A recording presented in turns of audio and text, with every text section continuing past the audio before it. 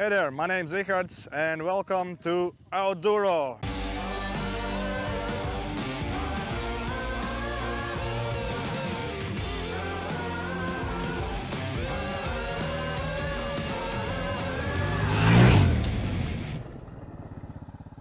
Outdooro is a moto adventure organization based in Latvia.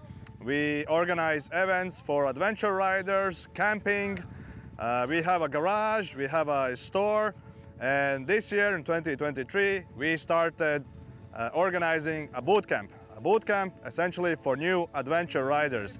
We are teaching them uh, essential skills how to ride their adventure bikes, how to navigate, how to feel their uh, weight on the bike. And tomorrow we'll teach more about the gear side, what to pack, how to sleep on the nights and uh, what food to bring, and also medicine. First aid is uh, very important for adventure riders, especially if you're going alone. So behind me you can see is the first uh, field uh, area where we are training. We have our own instructors and today in collaboration with Modern Nomad. But uh, let's hear from our instructor, Rollis, what he has to say. Čau, Roli! Čau, čau. Nu, kas šodien notiek mums šeit poligonā? Oi, šodien notiek uh, forša apmācība īstenībā, ko jūs jau paši redzat. Adventure, tieši adventure, jo šeit ir cilvēki, kuri nākuši jau no pieci gadu braukājuši pa ielu un ir pilni nepareiz tehnika, priekš adventure moču un pre... tehniskās braukšanas. Tad šeit arī ir bez liela ātruma, vienkārši ar pareizu tehniku izbraukt pareizi šķēršos, pareizām kustībām, pareizām svārstībām. Ar ķermeņa svaru mēs strādājam ar moci un veidojam to balansu. Un lēnītēm, lēnītēm braukājam, kā jūs arī paši redzat. Un jau šī ir otrā grupiņa, pirmīt jau pirmā grupa izbrauc, un jau bija ļoti labi atzinumi, kad uh, nav nemaz tik viegli, kaut arī liekas otrais, otrais čērslīts, čūskiņa, nepareiz braucot nesanāk. Tāpat arī šeit. Prieks, uh, izstāst, ka tev daudz ko darīt ir. Īstenībā, jā, ir karsti, ir, ir karsti, ir jāstāsta, jāparāda, jāizrāda, jā, kādam, kur nepareiz tehnika. Jo šeit galvenais, kas ir, lai viņš iemācās lēnām pareizi, lai tā muskuļa atmiņam iestrādājas. Jo jau pirmā grupā bija tas, ka viņš 5 gadi jau brauc, viņam pilnīgi muskuļi strādā pretēji un visu laiku dabū viņi strādāt vairāk. Un tāpēc, jā, reku jau cilvēks stāv. Kristofer, aiziet, laid! Labi, davai neaizkavēsim, Davai. tev, mēs mācam tālāk. Iekās, davai, čau! Okay, so we're in the second uh, area of training. And this uh, area is Krishan's, the responsible person teaching the new adventure riders how to go down slopes and up. Krishan's, uh, what are the adventure riders doing here? So basically they are uh, learning how to control the clutch and how to manage their weight on the front and or to, to the rear. And as you can see, how to use the rear brake, just how to handle your bike. So basically how to drive as slow as possible because it's harder than to ride fast, is, right?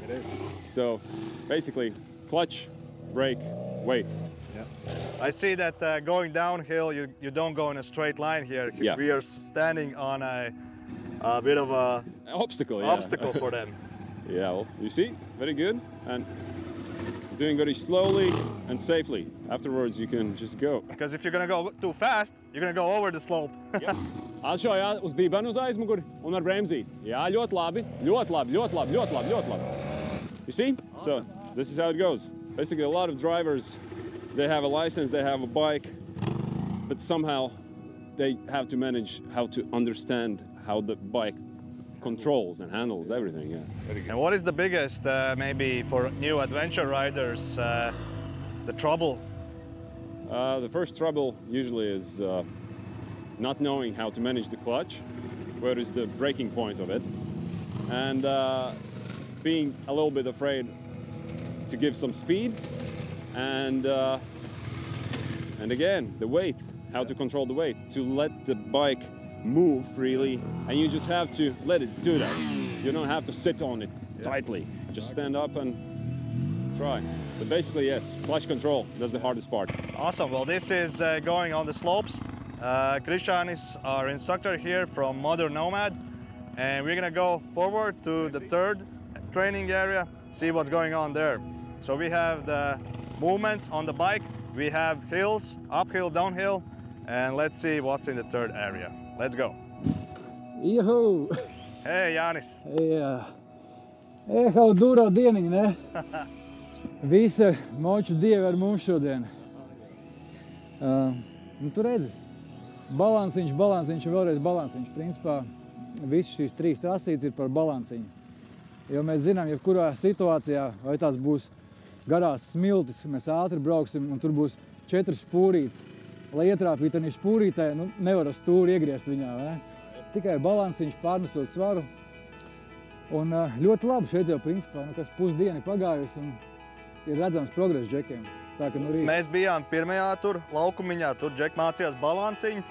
Otrajā jau kalnā lejā. Un izstāsta, ka šeit ir viss kopā tāds tā, kompleksais vingrinājums viņiem. Jā, tur ir baļķīši, kaudzīte, jāapstājās pie riepas, jānot tur sekundīti, divas, trīs. Nu, labs izaicinājums ir šeit kalniņš. Tas ritīgi interesanti izstāst no malas. Viņš ir negatīvais, viņš ir psiholoģiski. Ir Tāpēc, Jā. ka tur lejā tev nav kur to kāju nolikt. Tajā brīdī jāpārsvars, jā, tas tā, atkal. tas pats, kas ir čūskiņā, tas pats, kas konusos, tikai nu, jau reālā situācijā. Nu, un kas tad ir, eh, kā saka, mocis, jo krutāks, jo labāks braucējs? Vai labs braucējs var braukt ar jebkādu moci? Un tā blīves starp stūri un sēdekli, man liekas, tā ir izšķirošā. Šodien arī var redzēt, ir lieli moči, ir mazāki mocīši. Skatos, ka dažiem tiem lieliem močiem tā kā vieglāk, viņiem tas svars tāds milzīgāks ir. Mazie, ja, maziem atkal lik, liktos, ka viņiem vajadzēja būt tā kā motocross bez mazai līdzīgi, jo mazie, vai ne? Bet tāpatās ir grūtības, jo nav tā paša mācības ar to balansu. Jā, nu 10 tūkstoši stundas, tu zini, jebkurai nodarbei vajadzīgas ir stundas, uz stundas uz moči, ja? un tur neko. Un vakarā tu noteikti padalīsies saviem stāstiem arī no saviem piedzīvojumiem. Jo tu taču arī esi izceļojis visu pasauli, un motocrossā tev vairāk kā 20 gadu pieredze. Jā, nu šis mocīts bijis Austrālijā, 36 tūkstoši kilometru. Stāstu ir daudz, piedzīvojumu daudz, un um, um, ir jādalās, zin kā, gan zināšanās, gan um, idejās. Nu, Audura arī par to ir sanākt kopā, kaut ko foršu padarīt un kaut ko iemācīties. Tieši Tā. Es domāju, ka tu ļoti noteikti iedvesmosi jaunos braucējus, arī tie, tos, kas sēž mājās un šobrīd vēl skatās. Un, jā, dodamies pie dabas ar močiem, mašīnām, vienalga un izbaudam to dabu, kas mums te ir. Viss sākās ar sapni, ir jāsāk tikai. Tāpēc iemācīsimies arī aizbraukt droši līdz viņai. Jāni, tiekamies vēlāk. Tiekamies vēlāk. Pauzīte ir beigusies. Mēs esam izgājuši pirmo rotāciju. Un šodien mums tāds unikāls pārsteigums, ka mums ir pievienojusies pirmais daļā pārstāvis. Un eh, viņi arī dodas adventure piedzīvumos. Viņai ir tēneri mocīti. Tie, kas zina, ir tēneri, tas nav mazākais mocīts no visiem. Lauma, kā tev gāja šodien izbraucienā? Nu, ir ļoti daudz bailes jāpārvar pirmkārt, bet nu, e, diezgan tādu progresiņus jau redzēju. Tā, kad to, tās pirmās bailītes pārvarēju, sāku jau kaut ko mācīties, man liekas, kad jau sāka kaut kas mazliet sanāk. Instāra arī saka, ka tev ļoti labi. Un Kā tu vispār izdomāji uz adventure moču uzkāpt? Kāpēc ne ielas mocis kā pārējām meitenēm? Nu, es jau desmit gadus braucu motošosejā iepriekš, un nu, tad man bija tāda tehniskā pauzīte. Un, tad mūsu ģimenes kolektīvā, tajā garāžas kolektīvā pievienojās šī tenere nu, no manas vīra puses. un Tad izmēģināt, gribējās nu, kaut ko savādāku. Uz to offroad pāriet gribējās. Un tā nu es tā sāku mācīties. Superīgi. Es pieļauju, ka ir vēl citas arī meitenes, kuras arī domā, tā, ka varētu to adventure, bet viņas domā, varbūt tas tikai džekiem ir. Ko tu ieteiktu šādām meitenēm? Kaut ko džekli parasti ieteikt nemīstam. Tieši tā, nemīžat, jā. Braukt piedzīvojumos var arī lielākiem močiem, vai ne? jā, jā, tāpēc ka, nu, tas, ir, tas ir tāds akcents. Un, uh, man, man liekas, ka vēl forši ir, ja patīk daba. Un tādi arī tādi, nu, kaut kādi paši pār, pārgājieni un uh, kempings un tā. Un tad ar, ar moci vēl tas ir dubult forši. nu, tā. Super. Tas arī tieši mūsu auduro ir, ka mēs ne tikai braucam takās, bet mēs arī nakšņojam.